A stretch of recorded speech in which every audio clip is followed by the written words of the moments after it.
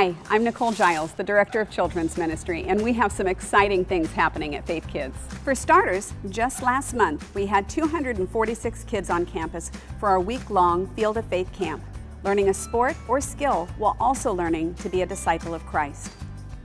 At our last Family Fun Night, I had the opportunity to meet three new families who have registered for our preschool. Our next events will be Wacky Water Night on July 9th, another family movie night on July 30th, and a Mary Rice Hopkins concert on August 11th. These are fun opportunities to invite your neighbors and friends. Can you believe all that God has done to allow us to impact families by opening our Emmanuel Faith Preschool next month? I'm amazed when I reflect on God's provision of our much needed Children's Center. Thank you to everyone who is continuing to give to the Beyond Fund, which has resulted in not only a great new facility, but also an opportunity to impact more kids.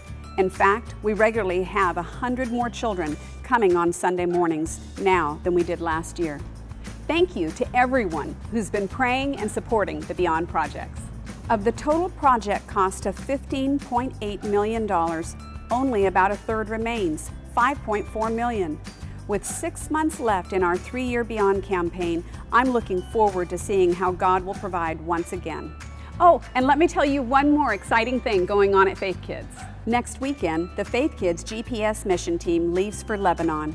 We sure would love your prayers as we share the love of Christ with Syrian refugees. Take a look at today's worship folder for more events and information.